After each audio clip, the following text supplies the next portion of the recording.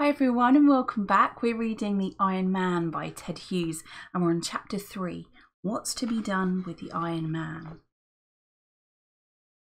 So the spring came round the following year, leaves unfurled from the buds, daffodils speared up from the soil, and everywhere the grass shook new green points.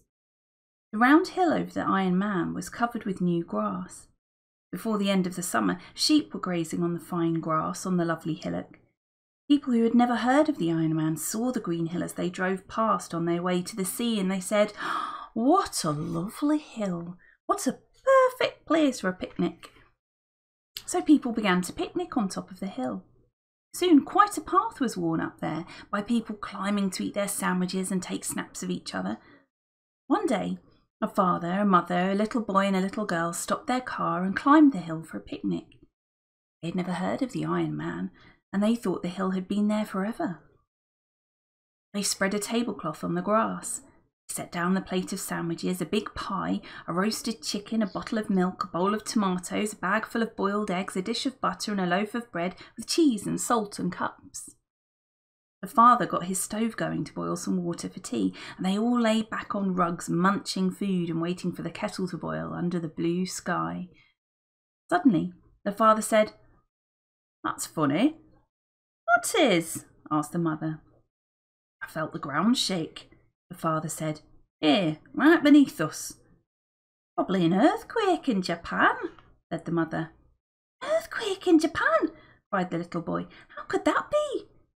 So the father began to explain how an earthquake in a far distant country that shakes down buildings and empties lakes sends a jolt right around the earth. People far away in other countries feel it as nothing more than a slight trembling of the ground. An earthquake that knocks a city flat in South America might do no more than shake a picture off a wall in Poland. But as the father was talking, the mother gave a little gasp, then a yelp. The chicken! she cried. The cheese! The tomatoes! Everybody sat up.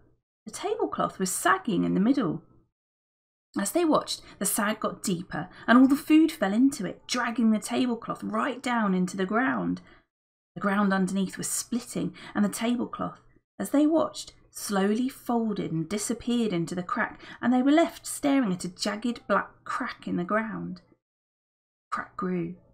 It widened, it lengthened, it ran between them.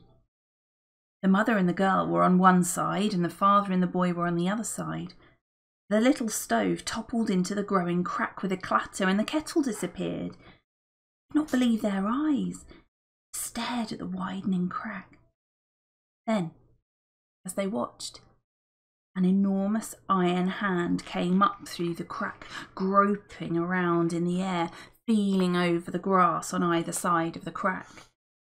It nearly touched the little boy, and he rolled over backwards. The mother screamed, Run to the car! shouted the father. They all ran. They jumped into the car. They drove. They did not look back. So they did not see the great iron head, square like a bedroom, with red glaring headlamp eyes, and with the tablecloth, still with the chicken and the cheese draped across the top of it, rising out of the top of the hillock as the Iron Man freed himself from the pit. Farmers realised that the Iron Man had freed himself. They groaned. What could they do now? They decided to call the army, who could pound him to bits with anti tank guns. Hogarth had another idea. At first, the farmers would not hear of it, least of all his own father, but at last they agreed. Yes, they would give Hogarth's idea a trial, and if it failed, they would call in the army. After spending a night and a day eating all the barbed wire for miles around, as well as hinges he tore off gates and the tin cans he found in ditches, and three new tractors and two cars and a lorry, the Iron Man was resting in a clump of elm trees. There he stood, leaning among the huge branches, almost hidden by the dense leaves, his eyes glowing a soft blue. The farmers came near, along a lane, in cars, so that they could make a quick getaway if things went wrong. They stopped fifty yards from the clump of elm trees. It really was a monster. This was the first time most of them had had a good look at him. His chest was as big as a cattle truck. His arms were like cranes, and he was getting rusty. probably from eating all the old barbed wire.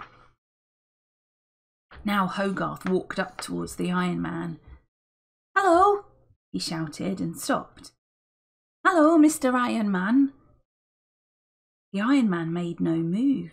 His eyes did not change. Then Hogarth picked up a rusty old horseshoe and knocked it against a stone. Clunk, clunk, clunk. At once, the Iron Man's eyes turned darker blue, then purple, then red, and finally white, car headlamps. It was the only sign he gave of having heard. Mr. Iron Man, shouted Hogarth, we've got all the iron you want, all the food you want, and you can have it for nothing if only you'll stop eating up the farms. The Iron Man stood up straight. Slowly he turned till he was looking directly at Hogarth. We're sorry we trapped you and buried you, shouted the little boy. We promise we'll not deceive you again. Follow us and you can have all the metal you want. Brass too, aluminium too, and lots of old chrome. Follow us. The Iron Man pushed aside the boughs and came into the lane. Hogarth joined the farmers. Slowly they drove back down the lane, and slowly, with all his cogs humming, the Iron Man stepped after them. They led through the villages. Half the people came out to stare, half ran to shut themselves inside bedrooms and kitchens. Nobody could believe their eyes when they saw the Iron Man marching behind the farmers. At last they came to the town, and there was a great scrap metal yard.